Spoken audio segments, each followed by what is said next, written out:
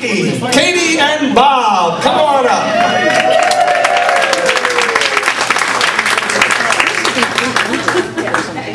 All right, hands by your side. Top. How many answers we got on this one? Top five answers on the board. 100 people surveyed. Here's the question. Name a famous Mary. Katie got it by a hair. The Virgin Mother, is it up there? It's the number one. I'm sorry, that was way too easy. You're gonna play. All right, next up is Laura. Can Laura name a famous Mary? Poppins. Poppins! Is Mary Poppins up there? Number four. Way to go.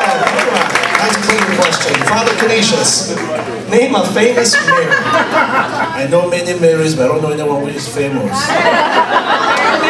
Nobody who's famous is that up there. And strike one. Fernando. Name a famous Mary. Something about Mary? Well, what's her name? Mary. Okay, is Mary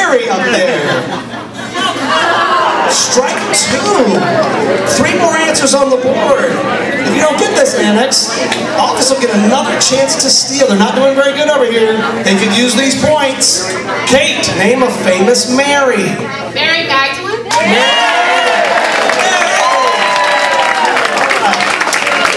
Two more answers and one more strike. Katie Lutz, name a famous Mary. Does Maria count, like, from the sound? Sure. Oh. That's it. Three strikes. Coming over to you, office. Coming over to you, office. What do you got? You got to come up with something. You need some points on the board. What do you got? Mary Travers. Mary Travers. Is Mary Travers up on the board? Ah. Oh. Annex gets the points. What was number three? When you get a chance. Mary Queen of Scots? Mary Tyler Moore.